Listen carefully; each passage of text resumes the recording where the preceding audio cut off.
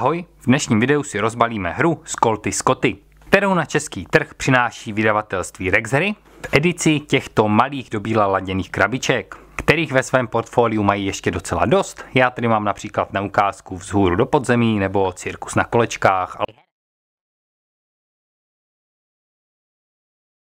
Hra Skolty Scotty je v podstatě takovou skotskou inkarnací hry Battleline od GMT, kdy se jedná o totožné hry s totožnými pravidly, jen eh, ve Skolty Scotty máme takové rostomilejší ilustrace, ale jinak v podstatě se jedná o úplně tu stejnou hru. No ale zpátky už k dnešní krabici Skolty Scotty. Hra je určená pro dva hráče od 8 let věku a jedna herní partie by nám měla zabrat nějakých 20 minut.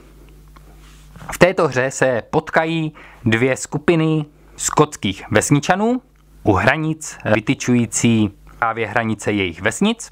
A obě dvě ty skupinky tam došly s tím, že ty hranice posunou, aby prostor své vesnice trochu rozšířili. Takže se vlastně budou navzájem přetahovat o hraniční kameny, kterých bude ve hře 9. Ten hráč, který zvládne získat buď to nadpoloviční většinu tudíž pět těchto hraničních kamenů, anebo tři sousedící vedle sebe, tak zvítězí.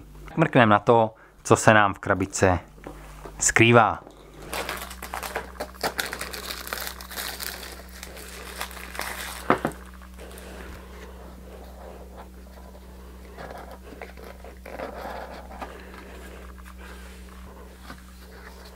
První, co tu máme, tak jsou pravidla hry, takového deníčkového formátu, eh, jak už v takhle velké krabici bývá. Tak, pravidla mají eh, nějakých 17-18 stráneček, jestli se nepletu. Tak pletu mají 16, 16 stráneček, s tím, že tu máme nějakou základní hru, kde budeme právě jenom se přetlačovat svými vesničany. No a pak je tu ještě popsaná druhá varianta, taktická varianta hry, která počítá ještě s nějakými taktickými kartami. A právě taktická varianta hry, hry Skolty Scotty, je totožná se hrou Battleline, které právě vůbec ta varianta bez taktických karet není uvedena. Další, co tu máme, tak jsou hraniční kameny, což jsou takhle tak jednotlivé destičky z kartonu, které ve hře udělají takhle tak řádku a tím vytýčí právě onu bojovou linii, kde na každé straně té bojové linie bude jeden hráč přidávat své bojovníky.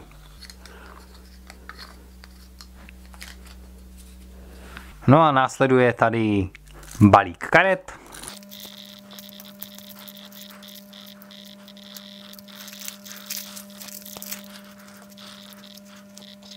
Tak, kdy základní hrací karty jsou tady karty s čísly, kde máme hodnoty 1 až 9 v šesti různých barvách. Takže máme zelenou 1 až 9, modrou 1 až 9, červenou 1 až 9, žlutou 1 až 9, fialovou 1 až 9 a hnědou 1 až 9. Takže to můžeme projet. Vidíme, že všechny ilustrace u daného čísla jsou stejné, takže všechny trojky nezávisle na barvě jsou zhodné. Stejně tak čtyřky a tak můžeme pokračovat dál až právě k devítce.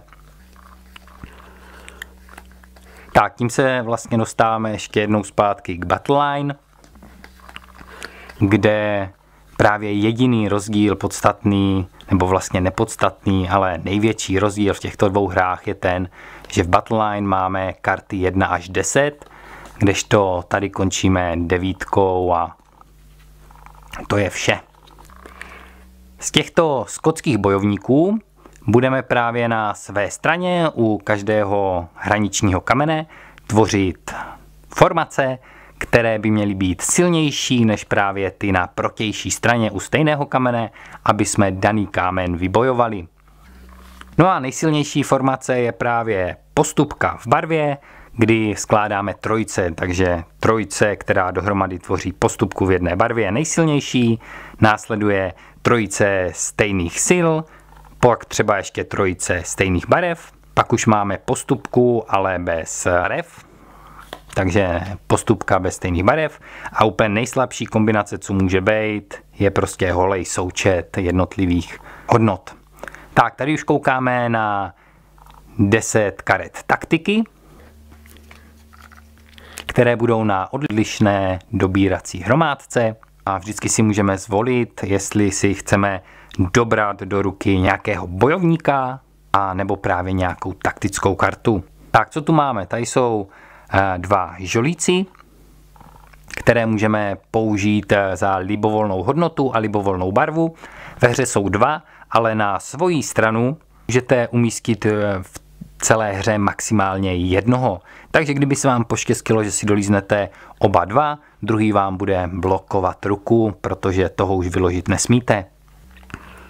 Tak tu máme žolíka o hodnotě 7, což znamená, že je dané, že je to sedmička, ale můžeme si zvolit barvu, jaká se nám zrovna hodí. Další je žolík 1, 2, 3, takže zvolíme si hodnotu, buď to jedničku, nebo dvojku, nebo trojku o libovolné barvě. Právě tak, aby jsme vytvořili tu co nejsilnější kombinaci se zbytkem karet. Tady máme kartu Stratega, který nám umožní přesunout jednu svoji kartu od jednoho k druhému hraničnímu kamenu. Díky verbíři si můžeme dobrat tři karty z libovolných hromádek a následně vrátit do zásoby dvě libovolné z ruky. Takže nám to umožňuje si ty karty pěkně vyměnit a nechat si ty nejlepší, které se nám hodí. Víla smrti zabije jednoho protivníkova bojovníka a rovnou ho odstraní ze hry, takže nějaký dobrý trumf, který tam tvořil postupku, není nic jednoduššího, než právě bílou smrtí ho odstranit. Zápas v blátě trochu zvyšuje počet karet, na které se hraje u daného kamene ze tří na čtyři, takže tvoříme skupiny nikoli v tří bojovníků, ale čtyř. Slepejšův blafák, ten vlivní také vyhodnocování jednoho hraničního kamene, kdy ruší veškeré postupky a skupiny stejných čísel a podobně a jediné, na co se u daného hraničního kamene hraje, tak je součet hodnot.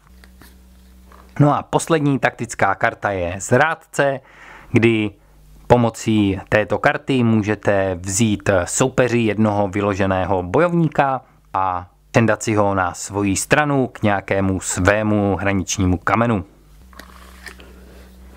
No a tady nám už zbývají jen dvě přehledové karty, pro každého hráče jedna. A máme tu právě seřazené ty jednotlivé hodnoty jednotlivých kombinací. Takže zde vidíme to, co jsem už říkal. Nejsilnější je postupka v barvě, následuje trojice hodnot, trojice stejných barev, špinavá postupka a holý součet. V případě, že by na obou stranách byly postupky v barvě, tak pak se řeší, kdo tam má vyšší hodnoty, takže silnější karty. Pokud by byla remíza i tak, v takovém případě vyhrává daný kámen hráč, který tu svoji trojici dokončil dříve. Tak.